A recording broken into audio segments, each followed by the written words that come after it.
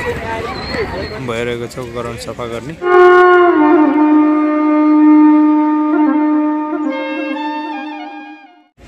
सुगाइस अहिले म चाहिँ होइन यो ल्याब स्कुलमा छु यति सुन्दर ठाउँ छ होइन। यहाँ फुटबल चलिरहेको छ।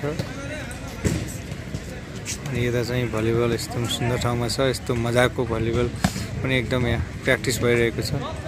यो चाहिँ ल्याब स्कुल पर्छ ल्याबोरेटरी एकदम सुन्दर ठाउँ छ।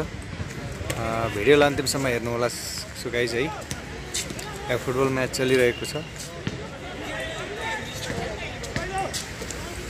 यता चाहिँ भलिबल पनि चलिरहेको छ। यहाँ महिला खेलाडीहरू केही कम्बिनेसन मिलाउँदै हुनुहुन्छ।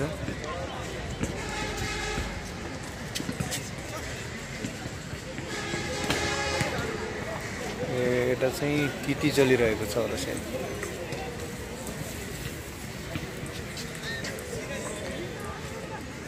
भलिबलतिर जाउँ